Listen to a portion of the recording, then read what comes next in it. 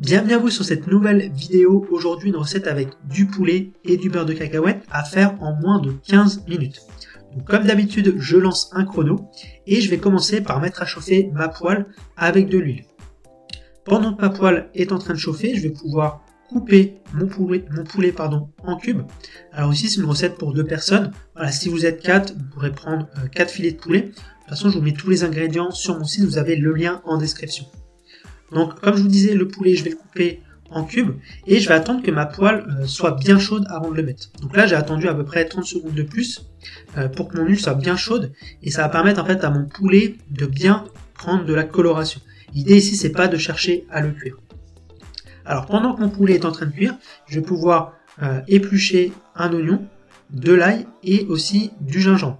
Le gingembre, c'est pas obligatoire, moi j'aime bien en mettre, ça apporte une touche exotique. Ensuite, je lave mon couteau, euh, l'oignon, l'ail et le gingembre, euh, je jette mes épluchures, je retourne ma planche, et là je peux travailler sur une surface bien propre. Donc pour le taillage, je vais émincer mon oignon, je vais aussi euh, hacher la gousse d'ail, et je vais couper grossièrement le gingembre, même s'il y a des gros morceaux, moi personnellement ça me dérange pas. voilà, si vous aimez qu'il y ait des petits morceaux, vous pouvez les couper un peu plus. Ensuite, voilà, une fois que j'ai tout taillé, là j'ai mon poulet qui devrait être euh, bien coloré. Alors ma gazinière est un petit peu euh, faible, donc euh, ça n'a pas bien bien coloré. Mais logiquement, si vous avez un feu assez puissant, ça devrait, à ce stade-là, votre poulet devrait être, devrait être coloré. Ensuite, une fois qu'il est bien coloré, vous pouvez le débarrasser dans une assiette et on finira de le cuire plus tard. Donc là, je vais mettre, je vais commencer à faire cuire mes oignons. Donc je l'ai fait revenir à peu près 2 euh, minutes. J'ai ajouté un tout petit peu d'huile parce que ma poêle était un petit peu sèche. J'ajoute ensuite euh, l'ail et l'oignon. Je vais faire revenir à peu près euh, l'ail et le gingembre, pardon. Je fais revenir à peu près 30 secondes. Je mets du concentré de tomate. J'ajoute un petit peu d'eau pour le diluer. Là, à ce stade-là, vous pouvez ajouter un petit peu de curry. Moi, j'en mets pas, mais un petit peu de curry, ça peut être très sympa pour apporter une petite touche exotique indienne. Ensuite, j'y ajoute euh, des euh, cacahuètes. Donc elles sont déjà grillées et salées, hein, ça fait gagner du temps. Et euh, donc le produit phare de cette recette, donc le beurre de cacahuète. Donc j'hésite pas à en mettre une bonne quantité. Ici j'ai mis deux cuillères à soupe pour deux personnes.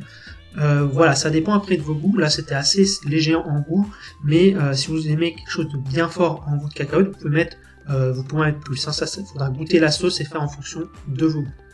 Ensuite, pour diluer le beurre de cacahuète, j'ajoute du lait de coco ça va me permettre de bien dissoudre le concentré de tomate et le beurre de cacahuète et ça va me faire une belle sauce bien orange.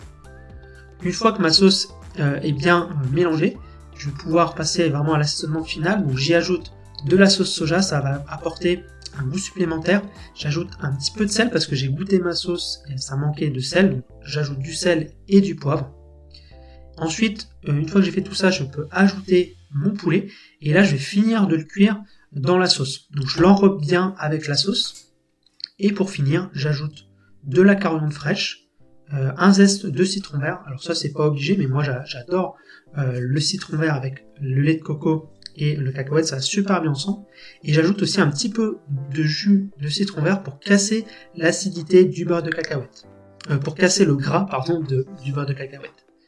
Donc voilà pour cette recette. Donc vous voyez, en moins de 15 minutes, on a un plat euh, qui va vous faire voyager, qui est vraiment super bon. Moi je sers ce plat euh, avec du riz et euh, voilà. Régalez-vous, je vous conseille vraiment cette recette. N'hésitez pas donc à vous abonner et à liker la vidéo et je vous dis à une prochaine vidéo.